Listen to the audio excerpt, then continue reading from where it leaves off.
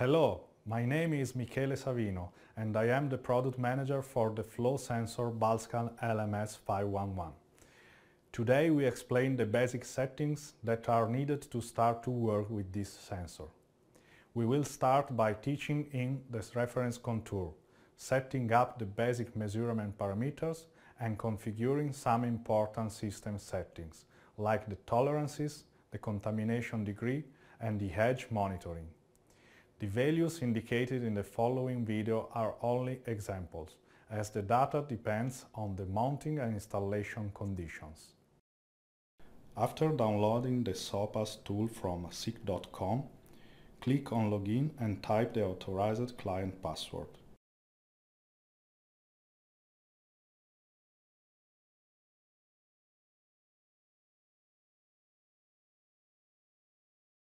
Now, double-click on the Bulkscan picture relevant to the connected device.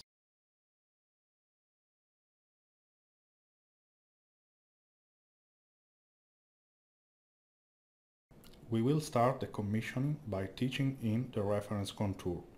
Set the left and right angles such that the maximum possible conveyor belt width can be acquired. Consequently, set the maximum distance and then click on the teach-in button. As soon as the teach-in is finished, the green indication appears in the top left box. In the Measurement tab, you can select a source for the conveyor belt speed.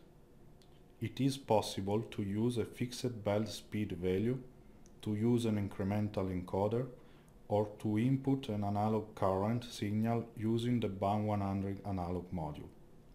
If necessary, you can also set up the measurement of bulk density or mass flow rate, as well as a strategy for bulk height measurement. After carrying out these basic settings, you can perform a test measurement in order to verify the measurement contour and the generated measured value using the scan view in SOPAS. In order to optimize measurement performance, you can set up the system parameters.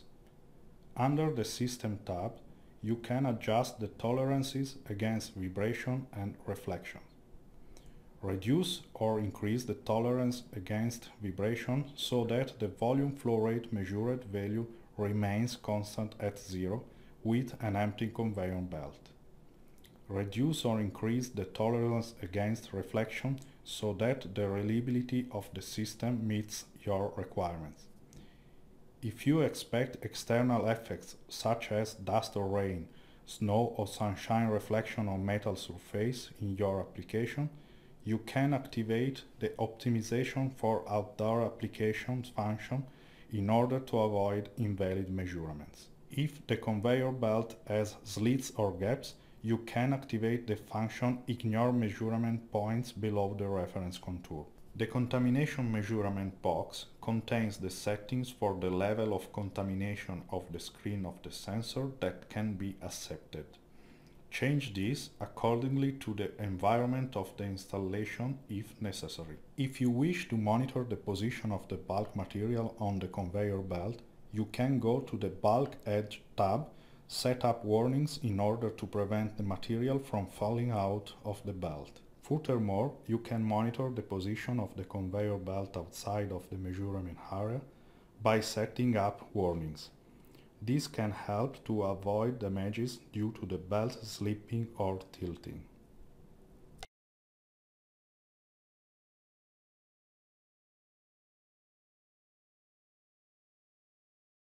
The Bulkscan LMS 511 has two digital inputs which are used to signal the belt operation and reset the volume sum and mass sum. It also has six digital outputs in which the sensor can signal that certain totals have been reached, limits have been exceeded or dropped below, or the occurrence of information warnings. The Bulkscan can read inputs and outputs analog for 20 mA value via the analog modules BAM100. To configure the module BAM100, go to the Interface tab and in the Inputs Outputs box click the BAM100 button. Then you can configure the analog inputs and outputs.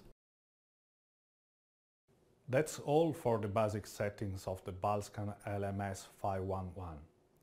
Thanks for your attention. For further information, please have a look on the operating instructions that you can download from sick.com slash bulkscan lms 511.